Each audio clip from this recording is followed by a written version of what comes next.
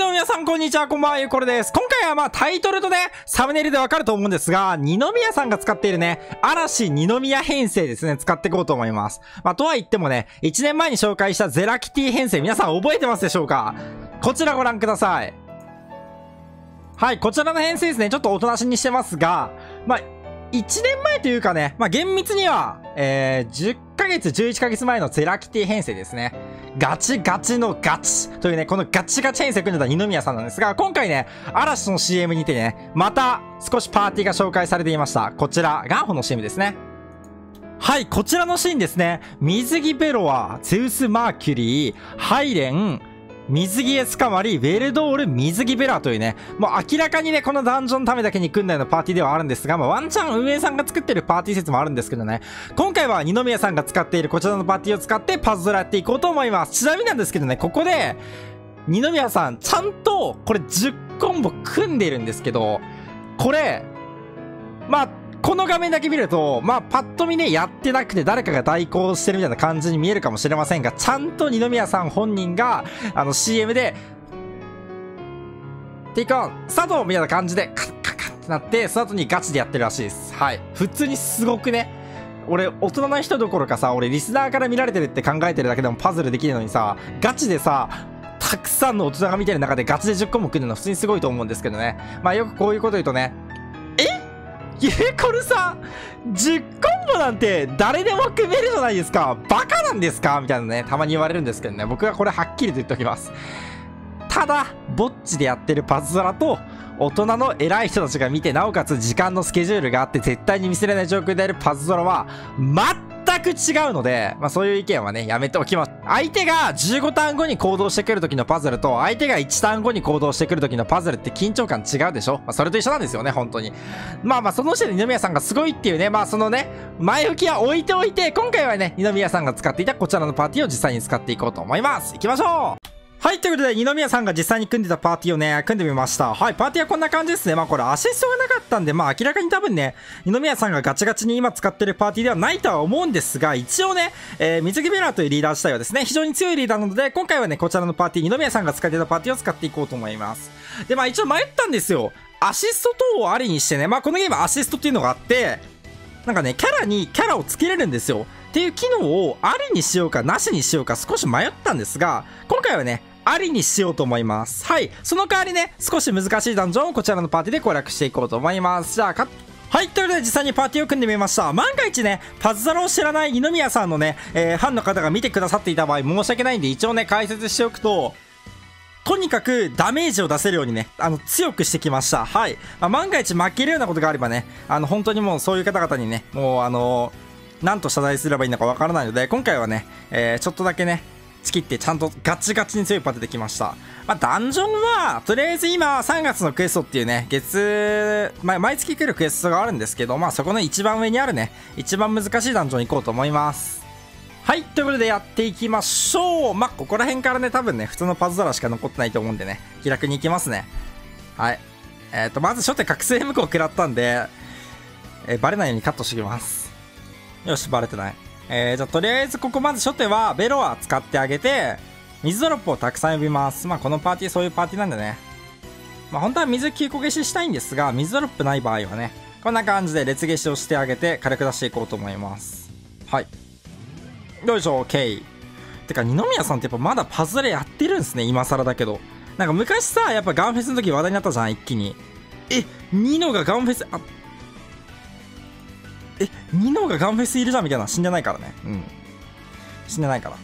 ニノがガンフェスいるじゃんみたいな感じですっげえ話題になったじゃん。俺、あの時さ、実はね、黙ってたんだけど、二宮さんが来る20分前に俺帰ったんだよね。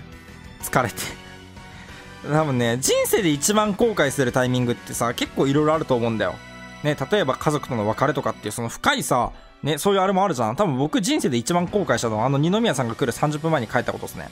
多分俺が人生で一番後悔したことあれなんじゃないかな、本当に そう、っていうぐらいのね、まああれなんですけど、そう、でも二宮さんまだやっぱガチでやってるんですね、ちゃんと。さすがやな。ね、やっぱアイドルやりながらパズドラもやってるってね、すごいよね。俺何もせずにパズドラだけやってるからね、家でニートしながらパズドラやってる人に比べて、あの人アイドルやりながらやってるからすごいよね、そう考えると。今、は？ユーコルニートなふざけんなよ、こいつ雑魚じゃんとか思ってる人いるかもしれないけど、多分中にも絶対ニートいるでしょ。おい。多分ニートの仲間もいると思うんですけどね。そう考えると本当にすごいよね。はい、これで倒していきます。で、まあ、この二宮さんが使ってたね、ベロアに関しましては、まあ、水を9個消してあげればね、倍率が発動するというね、少し、えー、なんて言えばいいんだろう、難易度の高いリーダーなんですよね。まあ、だからこれをやっぱり使いこなせてるっていうのは本当にまあ、すごいんですけど、まあでもあの動画見てる限りだと、10個も普通に決めてたんで、まあ、もはやもう普通にわざわざベロは使う必要もないですね。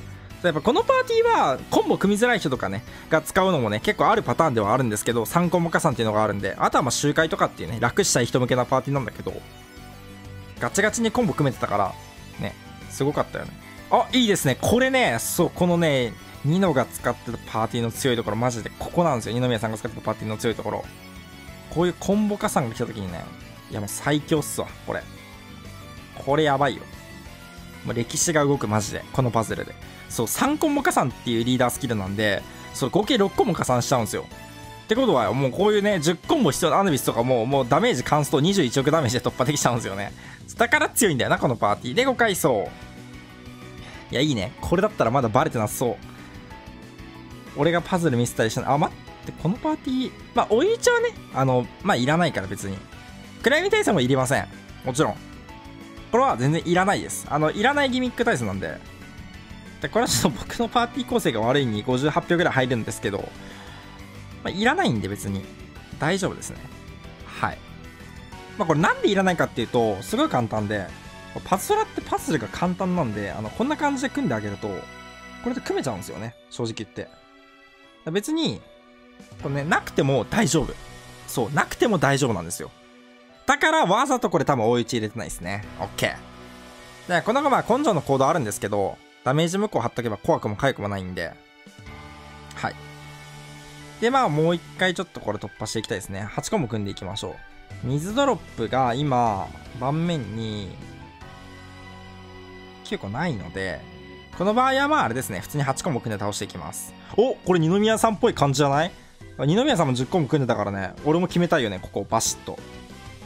指も長いんで、パズルミスさえしなければ大丈夫かな。ここからで一発バシッといこうと思います。いきますね。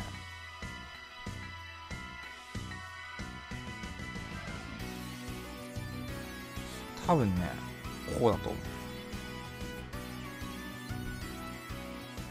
よし8コンボですね。うん。OK これで倒していく。だからクラミデス別にいらないんですよねこのパーティーは。はい。でボスですね。シェヘラザードっていうダンジョンなんでボスシェヘラザードなんですけどまあ別にねシェヘラザードは強くないので、多分大丈夫だと思います。まあ、追い打ちがいるんですけど、追い打ちはもういるようでいらないようなもんなんで、実際の話。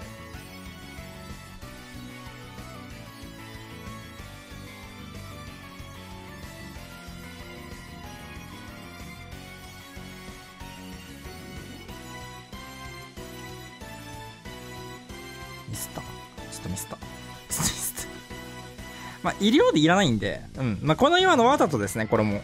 これ火力調整なんですよ、実は。そう、いい感じに削れるんですよね。こうしてあげると。あ、で、雲耐性はもちろんいらないです、絶対に。うん。雲耐性100%いらないですね、本当に。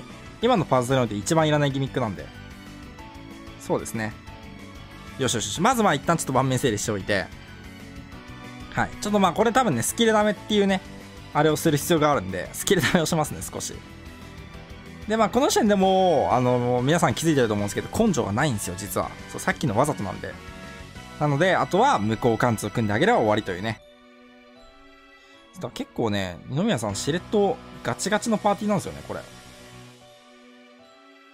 うーんとねこれ水持ってきといて。